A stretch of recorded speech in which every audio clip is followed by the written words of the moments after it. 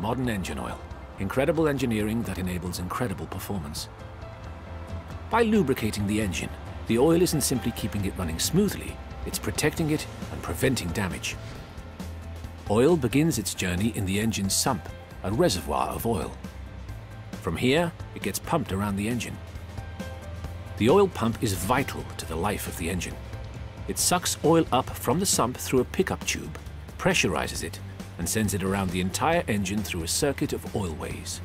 From the pump, the oil travels to the oil filter, which removes microscopic particles and supplies clean oil to the rest of the engine. Clean oil flows to all the critical engine parts. The bearings, supporting the crankshaft on a continuous film of oil. Pistons, cooled down and kept clean by the oil's detergent action. And the valve train, protected by the oil's anti-wear system. Loads in the valve train are the highest in the engine. This is where the oil experiences the most stress. To avoid friction and damaging wear, these fast-moving metal components must be lubricated. The oil is the only thing preventing metal-to-metal -metal contact. Returning to the sump via oil return channels, the oil completes its journey.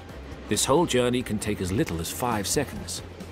Throughout the oil's journey, its primary function is to protect. It does this in many ways, reducing friction and metal-to-metal -metal contact, reducing wear throughout the drive, and reducing harmful deposits. Regular maintenance with a quality oil and filter will protect and preserve the heart of the car, the engine, keeping it running at its best for longer. It's more than just oil.